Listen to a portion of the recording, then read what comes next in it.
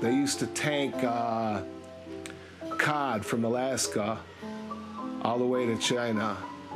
They'd keep them in vats in the ship.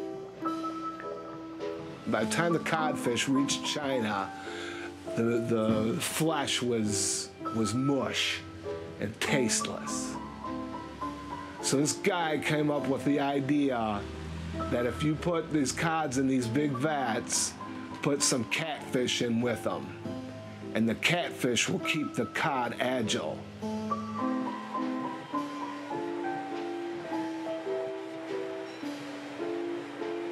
And there are those people who are catfish in life, and they keep you on your toes.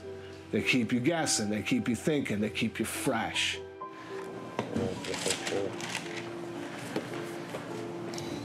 It's good.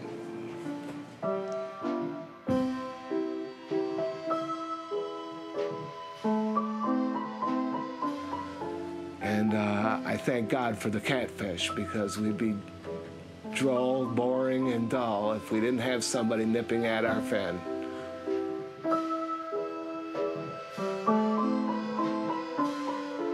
You come over and talk to me by the window? Don't really feel like it.